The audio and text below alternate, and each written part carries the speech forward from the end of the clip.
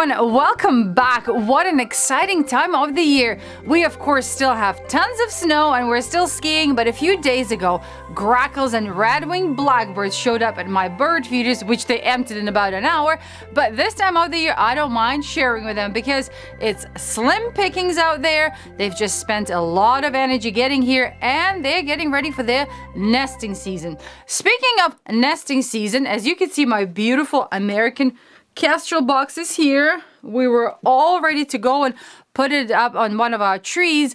And then as I was doing some research, I came to realize if we want our American kestrels to have a successful brood, we have to make sure that no predators can get into that box. So we have to have a predator guard, which is kind of impossible to install on a tree. So now we have to wait until all the snow melts and the ground softens up a bit to install this box on a post with a proper predator guard. All my other smaller birdhouses actually on metal poles with baffles. We might miss American kestrels this year, but at least this will be ready for next year. And it's not actually guaranteed that a bird will take to your nesting box right away. Steve Swearingen in Texas had to wait two years for a screech owl to find his box and to move in. So if you can, please install your nesting boxes on a post or a pole with proper predator guards. If that's not a possibility, you can attach it to a tree. Just keep a close eye on who is using that box. During a cold spell, Claire noticed that a lot of her backyard birds were fluffing their feathers to stay warm, but her cardinals didn't seem to do that, so she was just wondering how they managed to stay warm. Hi, Claire. Even though you might not be able to detect it, your cardinal likely does have some air trapped under those feathers. But they don't always need to fluff out their feathers to trap air and warm themselves. Birds in general also have a very high metabolic rate, and they engage in a physiological process called shivering thermogenesis. It's akin to our behavior of shivering when cold, except it's imperceptible to our eyes. This process, which is especially important to birds in the cold temperatures of winter, requires a great deal of energy, and that's why they're constantly foraging for food. In the late summer and early fall, prior to the onset of winter, almost all birds feed constantly to add to the fat stores in various parts of their internal body. Since birds don't have layers of fat or feathers to protect their totally exposed legs and feet, they can reduce the blood flow to these extremities to a trickle at really cold temperatures, such that the tissues still receive nutrition, but the heat is retained in the body. Finally, someone actually counted the feathers in sparrows in summer and winter and discovered that the birds actually grow more feathers in their winter plumage than in summer.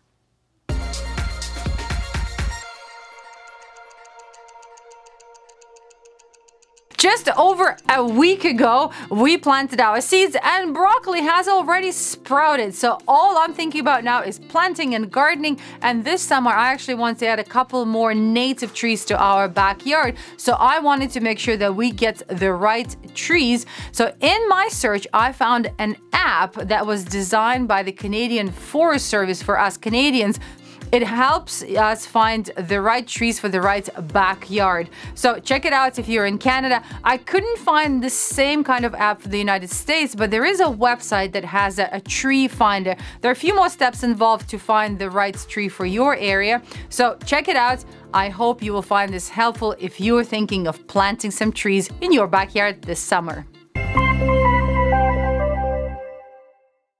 Well, here's a concept I've never heard of in the world of ornithology self-medication in birds. It has been documented in a wide variety of organisms ranging from tiny fruit flies to elk. A recent study published by a team of scientists working in various facilities in Madrid, Spain, focuses on self-medication in arguably the heaviest flying birds in the world. Great bustards, which I have never had the pleasure of seeing in the wild, can tip the scales up to 30 pounds, but can still manage to get their portly carcasses up into the sky. Sporting a plumage with unique colors, more on that later, they breed on grasslands from Western Europe and Northwest Africa to Central and Eastern Asia, with more than two-thirds of the entire population calling the Iberian Peninsula home. Great bustards have now joined the ranks of macaw parrots in seeking out certain plant foods to self-medicate against disease. They look for two plants in particular two weed species called corn poppies and purple vipers bugloss, which are also sought by humans for traditional medicine, such as pain relief, sedation, and immune system boosting. For the bustards, both plants contain antiprotozoal and nematode worm-killing compounds, while purple vipers bugloss also contains antifungal agents. Analyzing 623 poop samples from wild bustards, the Spanish research team found tissues from stems, leaves, and flowers of 90 plant species. The two weed species were found in amounts much more than expected in the bird's diet, suggesting that they actively seek them out as food, particularly in the breeding season. My guess is that those males who actively find and consume these two useful plants are more likely to be selected by females for mates, perhaps through enhanced plumage coloration, suggesting strong immune systems. But more research is needed to bear that out. Wanted to talk to you about Baltimore Orioles right now because they're going to hit everybody's backyards any day now. Well, a little bit later for us here in the north, sort of mid-May, but everywhere in the south, they are already migrating.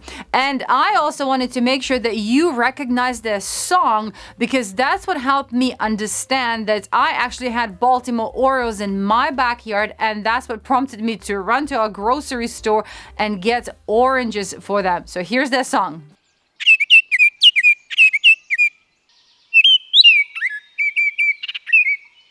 And do you know why they're called Baltimore Orioles? Well, uh, a few centuries ago, Maryland used to belong to the Baltimore family. Guess what their family colors were? Black and orange.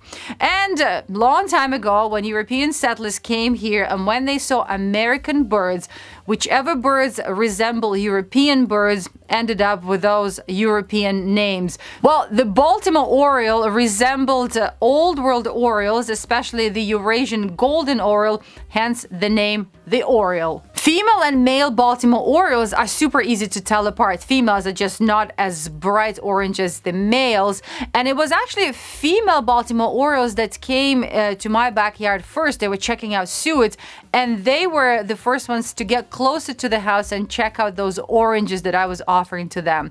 But we also noticed that the two springs that they stayed consistently in our backyard and were feeding on those oranges was the time when we didn't have a dog. Since we got our new dog, it's not as easy to keep them around. So I have to actually set up my Baltimore Oriole feeding area way in the back of my backyard where the dog doesn't spook them. Lynn from Orlando had a Baltimore Oriole at her hummingbird feeder for weeks.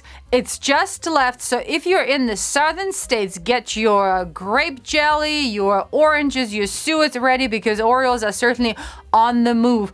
If you find grape jelly too messy, which I do, you can just buy purple grapes, mash them up with a fork and serve them like this in the bowl. Uh, Orioles love fruits. They even eat apples here. And don't worry, you won't have to serve oranges all summer long because it gets kind of expensive.